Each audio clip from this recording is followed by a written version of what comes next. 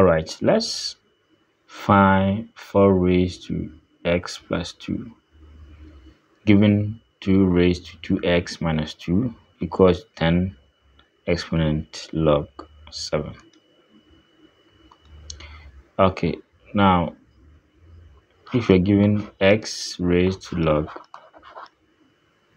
5 to base x so because of this and that is a property the answer is 5 is 5 so when you are given 7 exponent log p to base 7 the answer is p.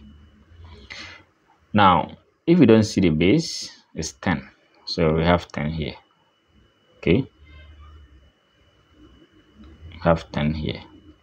So we have 2 to the power 2x and that equals to so this side is 7 okay so let's call this one the first equation now let's focus on this 4 raised to x plus 2 now 4 raised to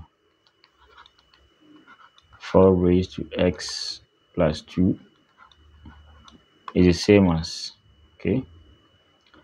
Um the same as uh 4 to the power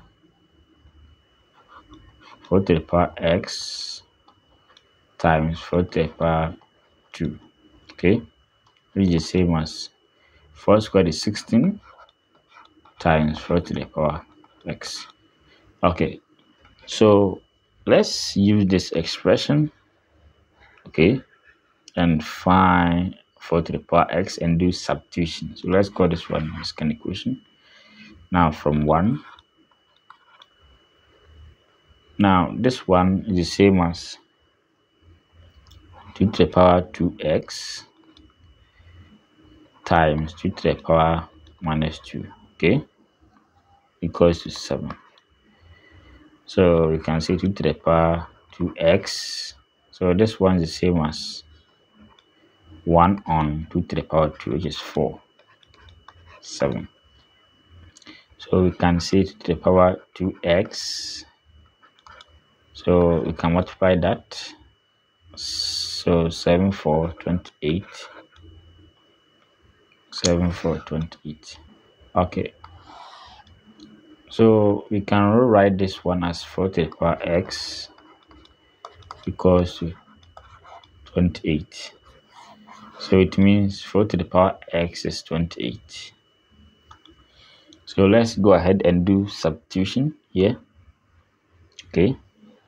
So we have 4 to the power x as 16. So we have 16 times 28 as the answer. So let's multiply 28 times 16 okay so you can put the answer at the comment section below. All right